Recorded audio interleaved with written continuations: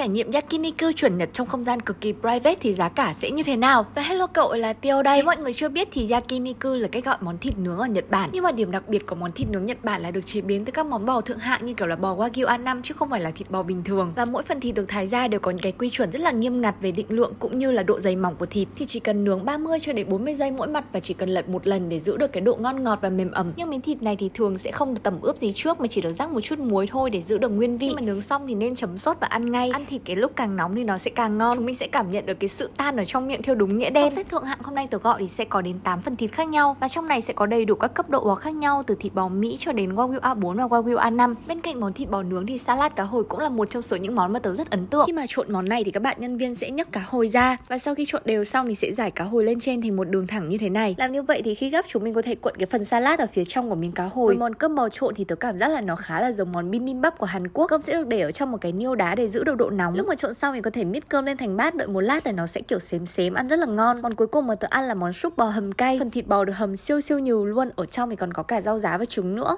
Nhà hôm nay tớ đi là Sakura Yakiniku được xây dựng từ năm 2008 của một bác founder người Nhật. Nhà hàng đã có đến 3 cơ sở tại Hà Nội và một cơ sở ở thành phố Hồ Chí Minh. Tất cả các cơ sở đều được thiết kế phòng riêng nên là không gian cực kỳ riêng tư. Tháng 6 này là kỷ niệm 16 năm hoạt động nên là nhà hàng sẽ có rất là nhiều ưu đãi chẳng hạn như là tặng sấn bò Wagyu A5 nhưng mà cái này sẽ chỉ trong 10 ngày đầu tiên thôi. Ngoài ra anh có voucher 200k và ưu đãi 15% về các bàn đặt trước trong ngày từ thứ hai đến thứ sáu. Mọi người nhớ qua trải nghiệm sớm nha.